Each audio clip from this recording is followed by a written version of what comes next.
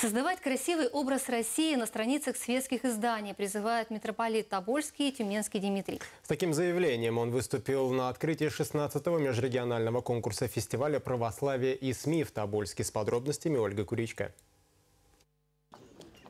Зародился этот фестиваль 16 лет назад по инициативе ямальских журналистов. Идею поддержали Тобольско-Тюменская метрополия и правительство области. В этом году авторитетный форум собрал 80 журналистов из Оренбурга, Курганской области и Малой Югры. Их приветствовал владыка Дмитрий. Встречаясь, общаясь, настраиваем свой внутренний мир, как строим свои планы на будущее, с чем мы обратимся к людям.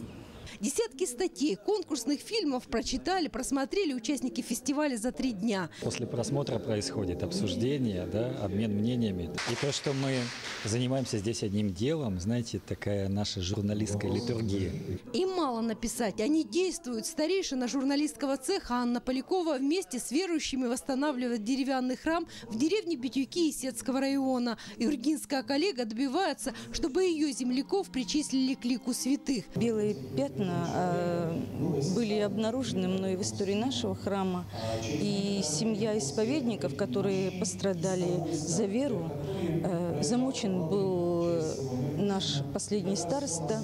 Об этом они пишут, а в Духовном центре Сибири обретают силы, чтобы через свои материалы обратиться к читателям и зрителям. За 16 лет проведения фестиваля «Святая земля Абалака» для журналистов стала родной. На их пожертвования отлит колокол на местную звонницу, установлена икона Нестру летописцу, покровителю всех пишущих. Закрытие фестиваля «Православие СМИ» проходило в Знаменском соборе Абалакского монастыря. Более 20 участников получили награды. Гран-при у Павла Кольцова со студии «Имал регион».